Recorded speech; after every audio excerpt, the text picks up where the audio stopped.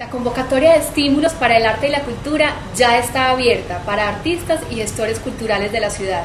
Son 6.971 millones representados en 500 estímulos. Visiten la página web convocatoriasculturamedellín.com para revisar todos los requisitos.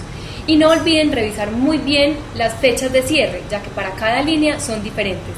Y para quienes preguntaron sobre la convocatoria de jurados, a partir del martes 12 de abril también estará abierta. La convocatoria cuenta con vos.